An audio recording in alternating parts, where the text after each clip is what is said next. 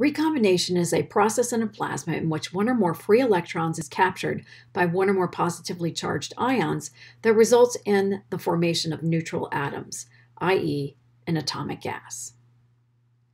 Let's take a look at an example of ionization and recombination.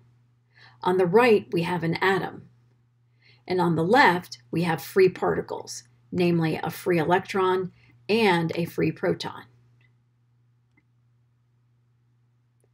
Whenever we go from atomic or electrically neutral atom into individual parts, which is a proton and electron, that process is called ionization.